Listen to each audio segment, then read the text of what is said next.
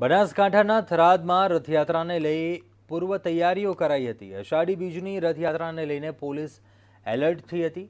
રથયાત્રાની સુરક્ષાને પગલે પોલીસની ફ્લેગ માર્ચ યોજાઈ હતી. પીઆઈ, પીએસઆઈ કક્ષાના અધિકારીઓએ રૂટનું નિરીક્ષણ કર્યું હતું. તો કોઈ અનિચ્છીય બનાવ ન બને તે માટે પોલીસ સજ્જ બની હતી.